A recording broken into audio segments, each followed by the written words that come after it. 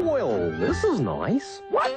That's mine too. Look at this. And this. And this. And this here. I found one of these, and this is nice. Looky here. Look, I found it. Finder escapers, you know. Oh, looky. You found this, and this, and this, and this. Stop that! Okay, okay. Take it, you. Just leave it. That's my car! Found it sitting out back. See you after lunch. Come back here!